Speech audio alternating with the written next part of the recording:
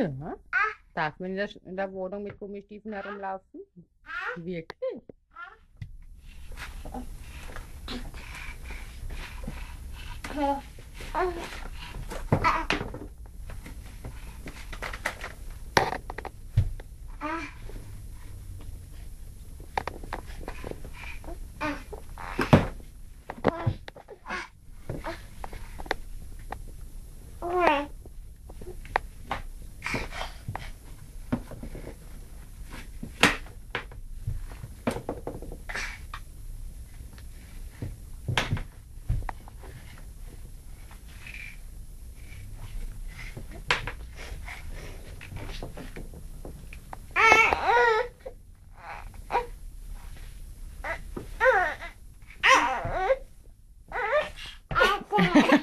Bravo!